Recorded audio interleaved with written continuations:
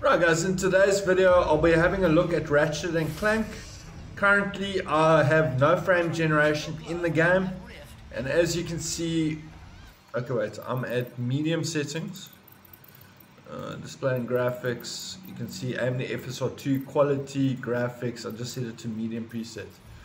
So generally I'm getting 30 odd frames up to the 40s, but it's not the smoothest of experiences. The game has been patched quite a bit, so it is a lot better than it was on launch.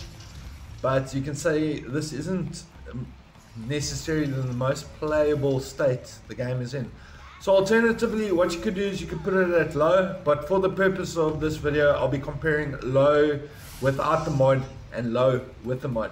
So let's put frame generation into that Ratchet and Clank and see how it performs. Right, so I've just added in frame generation and straight off the bat in the same scene previously with no frame generation at these settings I was getting 35 to 40 FPS and yeah I'm getting 56 to 60 FPS as you can see. So um, as you can see in certain areas I'm getting up to 70 frames just to show you my settings again.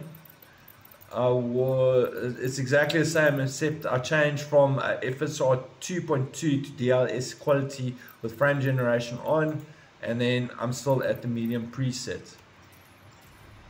And as you can see previously we were getting 40 uh, 35 to 45 frames. Here we're getting between 60 and 70 frames.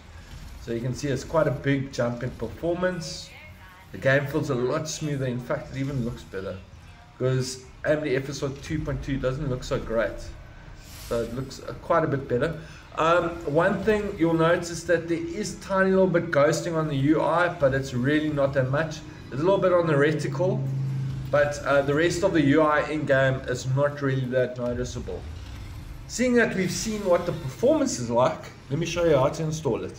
Right, to install the mod into Ratchet and Clank, you want to go to the latest version of the mod 0.9.0 Let's go in and then you want to be using SD, the SDK version. Just copy these four files over here. Boom. Go to wherever the game is located on your hard drive. So for me, it's over here. Where is it? Ratchet and Clank. There we go. Just paste it in your main game folder. And if you got a cracked version of the game, you can just launch the game as is.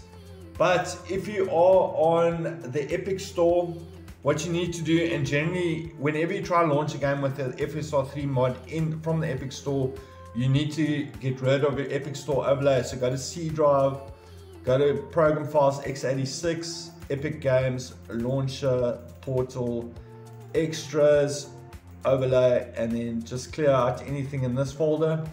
And then you should be able to launch your game. If your game still crashes on the Epic Store then what you need to do is close MSI Afterburner and RivaTuner, then launch your game. Once your game has finished launching, you can reopen MSI Afterburner and RivaTuner. If you are on uh, the Steam store version, what you need to do is just go to Steam, go to settings, go in-game, and then what you want to do is you want to switch off your in-game overlay, and then your game should launch normally. But for me, I am just on a cracked version of the game. So for me, I can just go ahead and launch the game. And then as you can see, the scripts start hooking. Then what you want to do is go to settings and you want to set DLSS quality and then switch on reflect, uh, reflex low latency as well as DLSS frame generation. Boom. Once you're done, you're done with the installation and you can enjoy the game.